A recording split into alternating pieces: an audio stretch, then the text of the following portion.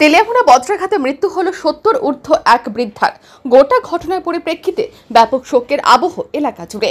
ঘটনা তেলিয়ামুড়া থানার অন্তর্গত খাসিয়া মঙ্গল গ্রাম পঞ্চায়েতের হরিশ্চন্দ্র কলইপাড়া এলাকায় রবিবার সন্ধ্যা রাতে। ঘটনার বিবরণে জানা যায়, অন্যান্য দিনের মতো রবিবার মিনারানিতে বাড়ির কাছে কৃষি জমিতে কাজ করছিলেন। সাথে ওনার ছেলে আশিস কুমার দেব নিজেও ছিলেন।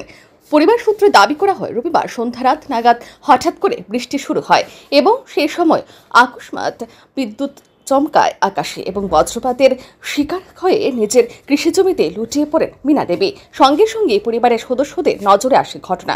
চিৎকার, চেঁচামেচিতে প্রতিবেশী সহ অন্যান্যরা ছুটে এসে দেখেন, বজ্রাঘাতে মীনা দেবীর শরীরের একটা অংশ পুড়ে ছাই হয়ে যায়। ঘটনাস্থলে মৃত্যু হয় তার। প্রথমে পরিবারের লোকজনদের তরফে প্রশাসনিক স্তরে কিছু না জানিয়ে মৃতদেহ সৎকার করার প্রক্রিয়া শুরু করা হলেও পরবর্তীতে তেলিয়ামুড়া থানার পুলিশ এই ঘটনার খবর পেয়ে ঘটনাস্থলে ছুটে গিয়ে রবিবার রাত আনুমানিক এগারোটা নাগাদ মৃতদেহ নিয়ে আসে তেলিয়ামুড়া মহকুমা হাসপাতালে।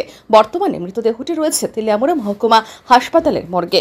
মৃতদেহের ময়নাতদন্তের পর সোমবার মৃতদেহটি তুলে দেওয়া হবে পরিবারের লোকজনদের হাতে। এমনটাই জানানো হয় তেলিয়ামুড়া থানার পুলিশের তরফ থেকে। ঘটনা হয়েছে আমরা সন্ধ্যা সাতটার সময় খবর পাই।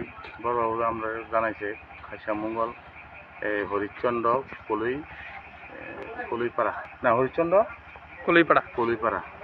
তো বিকালবেলা কাজ করতে গেছে জমিনে বড় জায়গাতে। মৃত্যু হয়েছে এখন স্যার কে মৃতদেহ নিয়ে আইছেন? তখন মৃত্যু নিয়ে- দেহ নিয়ে আইসি হাসপাতালে অন মর্গে রাখছি কালকে পোস্টমর্টম হবে। নাম টাম কিছু কি স্যার জানা গেছে? ওর নাম দিছে জানা গেছে। স্যার নামটা কি? নামটা হয়েছে নামটা হয়েছে মিনারানী দেব। বয়স টয়স কিছু বয়স সত্তর। স্বাভাবিকভাবে এই ঘটনায় ব্যাপক চাঞ্চল্য ছড়িয়ে পড়েছে গোটা তেলিয়ামুড়া মহকুমা জুড়ে। We Report, our News.